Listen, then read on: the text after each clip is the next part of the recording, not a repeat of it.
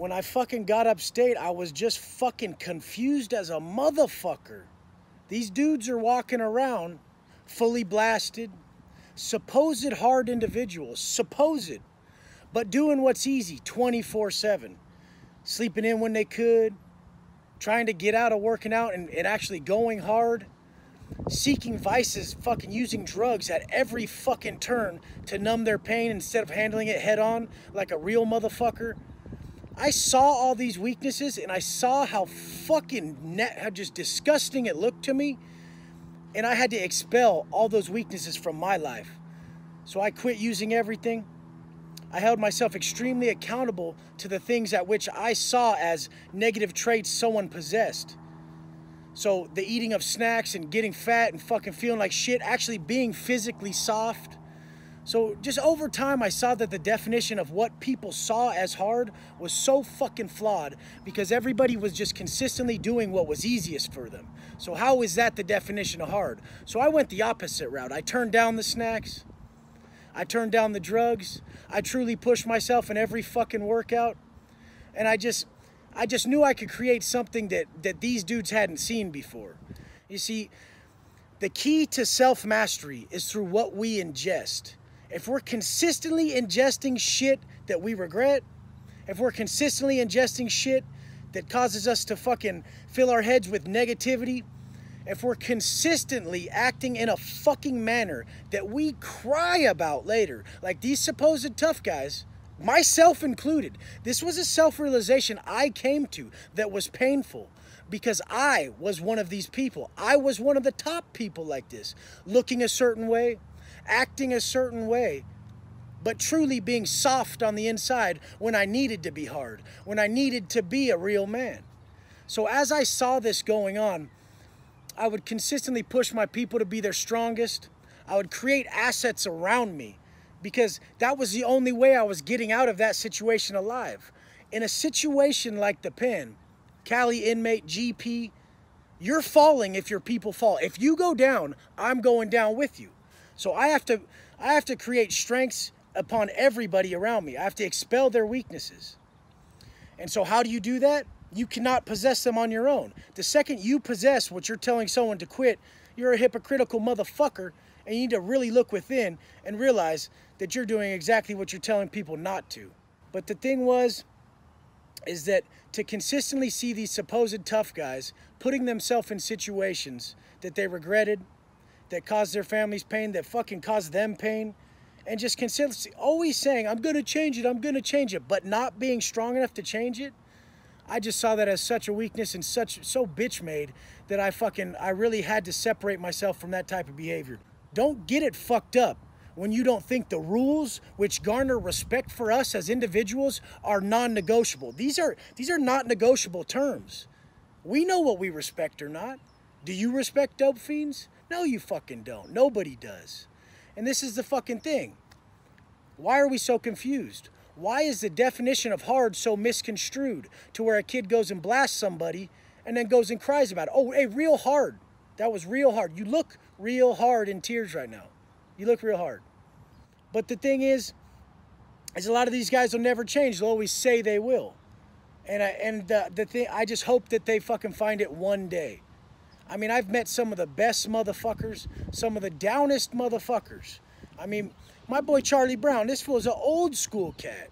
I mean, they got him on paperwork as an AB affiliate, the whole nine. He's from Modesto. He's a white boy. Motherfucker has makes my arms look small. They got to bring out the the attachment for the blood pressure machine when they're taking his shit because he got 23s, you know.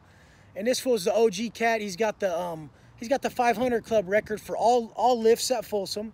I mean, this motherfucker was like it was like a father to me. He was super OG and he, he would always put me through game, but but then he would slip on the same shit that he would tell me not to do. And and that that do as I don't do as I do, do as I say type shit is lame as fuck. So when I finally got into a position where I was helping my people, I lived by my fucking word. And that's what I do out here. That's what I do on my Instagram page. That's what I do with my coaching. That's what I'm trying to show people is that these are actions. These are not fucking mere words we say. These are not books we fucking read.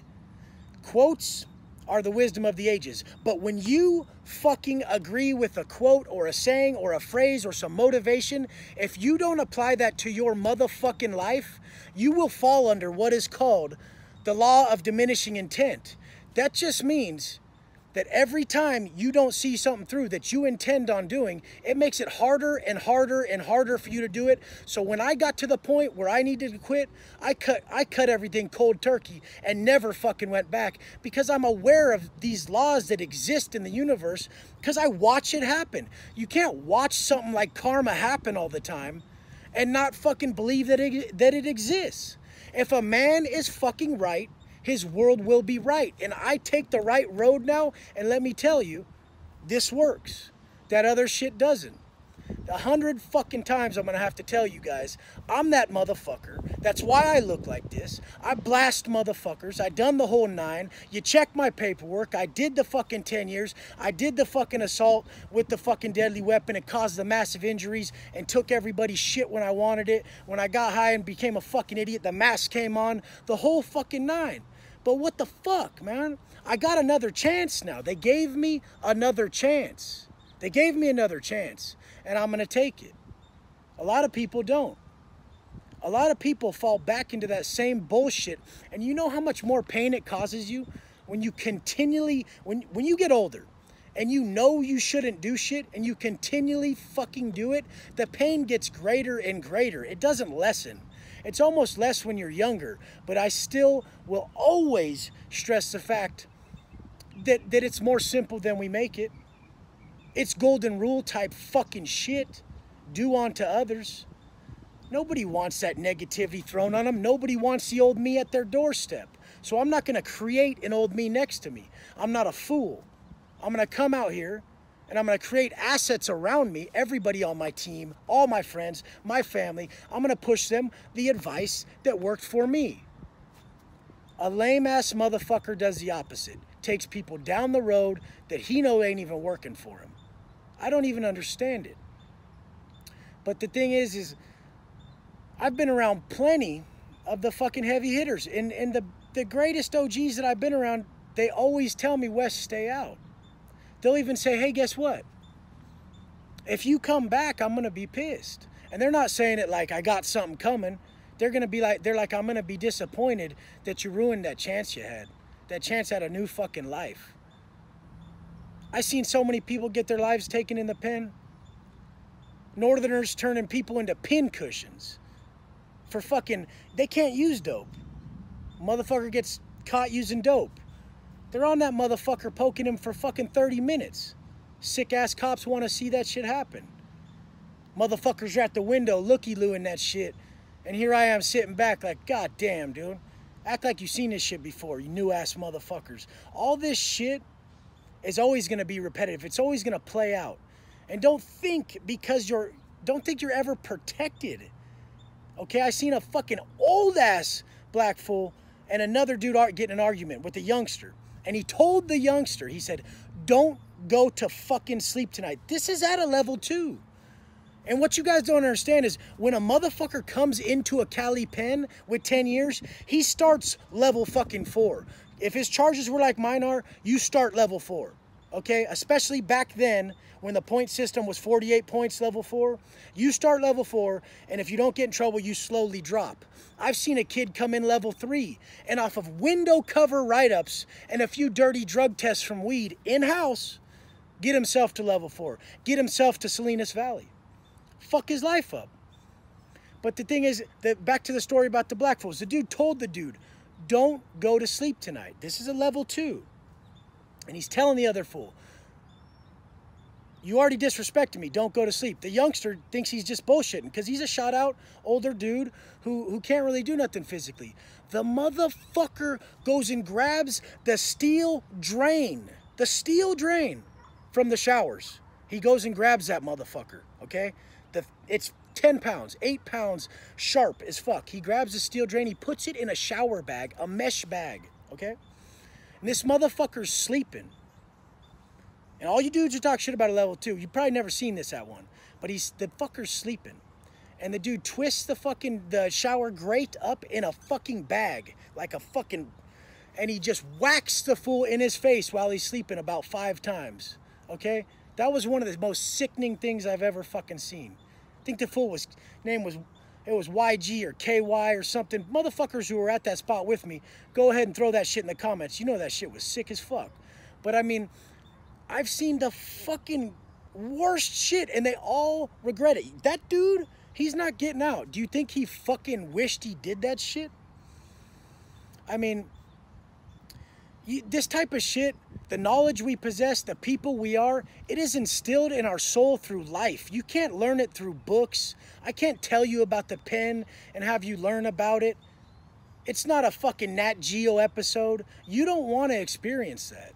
That's the most pain you'll ever feel. When the when the judge tells you you just get sentenced for 10 and your chick's pregnant in the fucking courtroom, they throw you back in the holding tank. You just got 10 that fucking stupid ass Avatar movie's playing over and over and over and over. And you're just sick to your fucking stomach. I just got fucking 10. It don't even seem real. And then they send you over to CJ. You're waiting. You talk to your neighbor. Fool's name's Brown from Logan. Doing doing 11. He just came off 11 in the shoe. He said, Wes, you got it. Wes, be strong, man. This is going to be a rough trip for you. He gave me some good advice.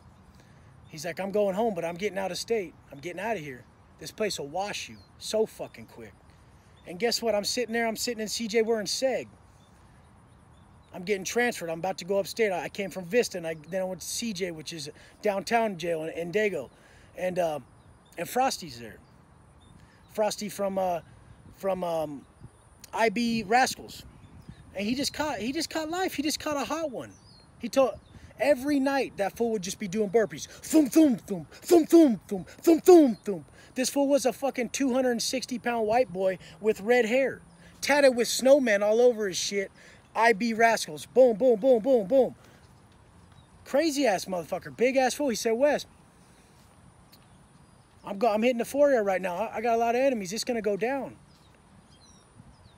What do you want? Make your choices. You got them. All day, every day, you got choices. You could end up like me. You could.